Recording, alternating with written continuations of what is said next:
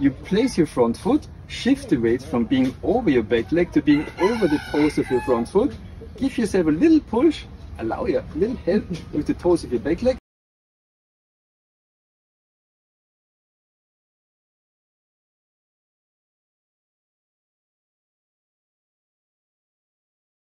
And actually you're already up on the stair and it's very easy. So you place your front foot again, shift the weight of your pelvis and then we will see how far we will get. Then you continue to do this gently and slowly without stress, step by step.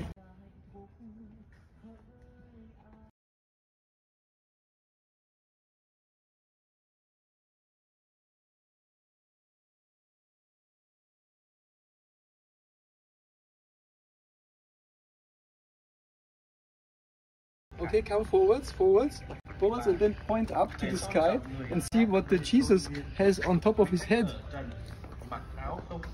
Further up, yes, can, you can see this, the circle. Crazy. the sun with a rainbow. And if you go... yeah.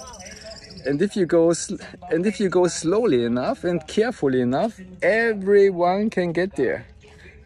Even my mom who was filming me. Even my mom, 74 years old, we made the steps, 1000 steps all the way to the statue of Jesus.